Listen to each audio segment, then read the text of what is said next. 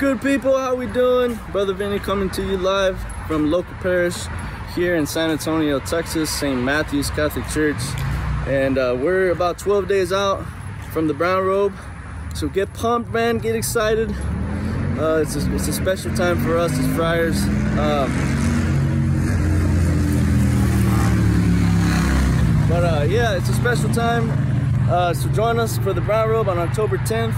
Uh, and I just want to say too that your support, your your donations, your friendship is a big part of our life. We're not able to do what we do without your help and your friendship, uh, your donations. So this semester I'm doing some RCIA here at the parish, and uh, I'm just super excited to get involved with the, with the candidates and get to know them and build a relationship with them.